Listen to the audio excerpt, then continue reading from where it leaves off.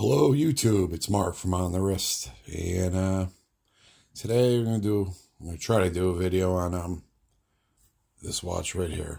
Uh, I got this, this is the one I showed you in my last video. I got this for a couple bucks with all the other watches, and it needs a movement. Here's the tools. I'm gonna be cutting through this, and I got the movement from them. All right. First things first, strip it down. And there it is, the Ronda 515 movement. Came with a battery. The thing is, I don't know what that piece right there is for. All right, let's continue on. Okay, back. Um, it's all done.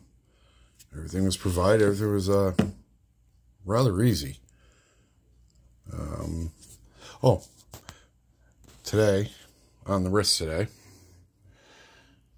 my Casio World Timer. My daughter got it for me for Christmas.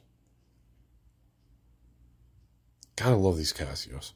Okay, back to the Wenger. Um, I'm out of 20 mil straps. I had this sailcloth lying around. I don't like it. And I have this NATO.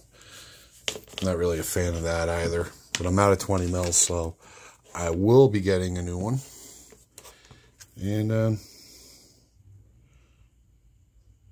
I don't know if I'm going to keep it, clean it, try to sell it. I don't know. Kind of like it. Let me know what you think.